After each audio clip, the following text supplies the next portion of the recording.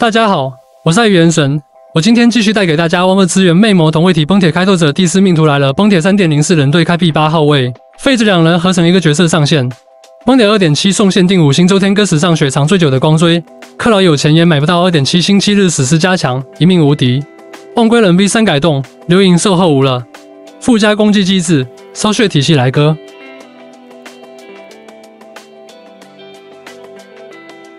据爆料提到一个卫星角色白垩的表男，灰色白毛，过大剑，不得不让人联想到一个奶窗万恶之源魅魔凯文。众所周知，崩铁现在的男角色竟是喜欢奶窗开拓，其实这是源于崩三中的领袖。崩三中的三大领袖分别是凯文、奥拓和瓦尔克，其中奥拓和瓦尔特已经落地了，就差凯文了。而凯文这样的角色，基本是男性角色建模的天花板之一，而崩铁拿同位体来联动。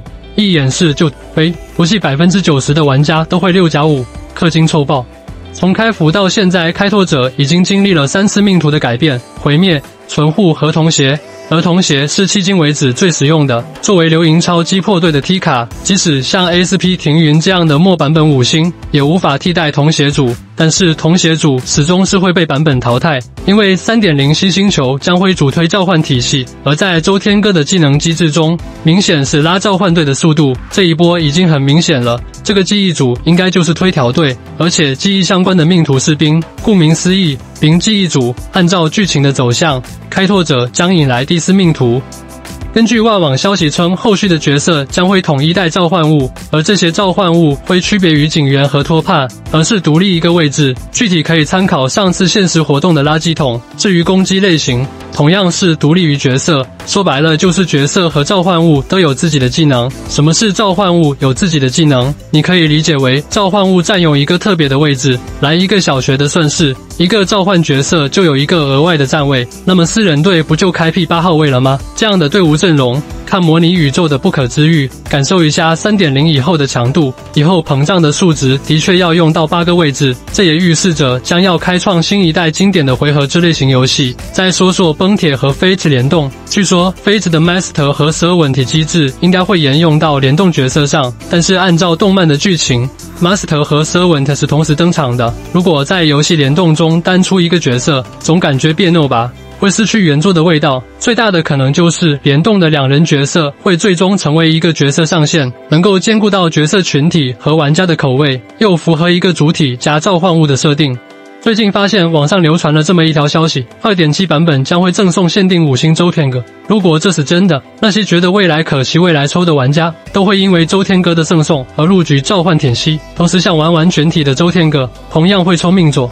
反正歪了不肯。加上后续召唤系角色降临，将会是全民周天阁的景象。后续大家也都会抽召唤大 C。据消息透露，史上最贵的光锥即将复刻，这个光锥已经有两百五十多天未有复刻了，成为崩铁史上雪藏最久的光锥。克劳有钱都买不到，实用性非常强，但是却不够用。这个光锥就是五五五。同时角色装备后开大招，可以让我方提前百分之二十四的速。虽然是四星光锥，其价值已经秒杀了很多免费的五星光锥，其泛用性非常高，推荐大家叠二或不叠价。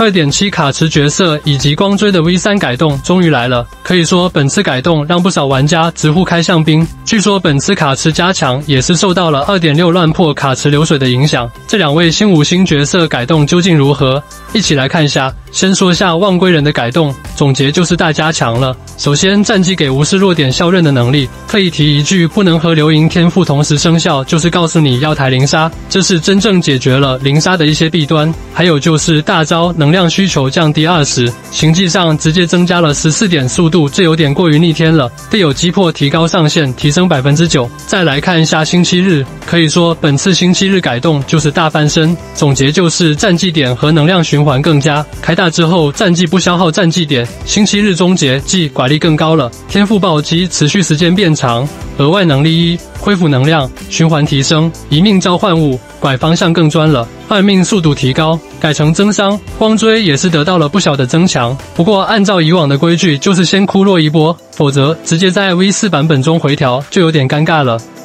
据爆料，在后续二点七版本中，知更鸟、星期日、瓦尔特、望归人、御空。黑塔 SP 等角色根据剧情会陆续登场。三点零的消息就是之前提到的冰系新角色，其机制是副驾攻击输出，伤害基于生命值。这么来看的话，倒是有点像负 C。这是生命之更鸟要来了吗？